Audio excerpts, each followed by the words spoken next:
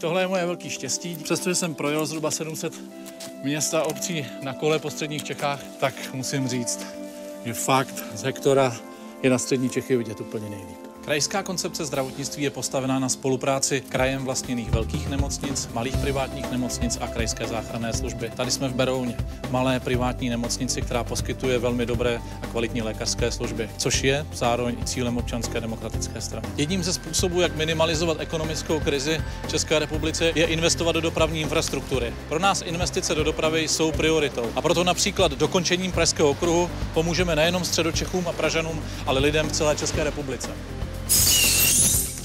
Práce hasiče pro mě byla obrovskou životní zkušeností. Ta se mi hodila především v roce 2002, kdy jsme řešili problémy po povodních. A proto si práce profesionálních a dobrovolných hasičů nesmírně vážím a podporuji je. Lepší kvalita cestování na železnici je pro nás středočechy nesmírně důležitá. Proto podporujeme investice nejenom do železničních koridorů a modernizace vozového parku, ale také do příměstské železnice. Toto je například první investice, která souvisí s vybudováním rychlodráhy Praha-Kladno. No. Náš BRICS ten poslouchat moc nemusí. Sociální demokrati ve středních Čechách svého gubernátora ano. Kdyby totiž neposlechli, zaplatí 4 milionovou směnku. Víď, Brixo, je on nejoblíbenější poloha.